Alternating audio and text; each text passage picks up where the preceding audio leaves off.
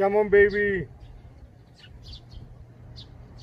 얘들아 밥 먹자. 물도 마시고.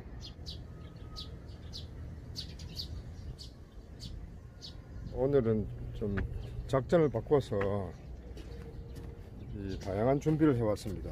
이 장생포에 이 새들이 물 마실 곳이 잉어 연못이 있는데 거기에서 물을 마실 수가 있고 나머지는 물 마실 데가 없다는 생각이 들어서 제가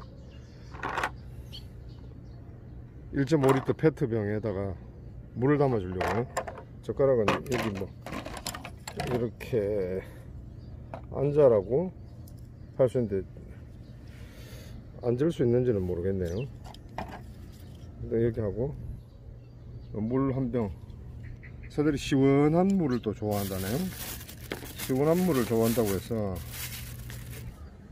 나무 밑에다가 앞으로 주도록 하겠습니다 이 새로도 교육을 다시 시켜야 되니까 좀 아쉽죠. Come on baby. 얘들아 밥 먹자. 물도 마시고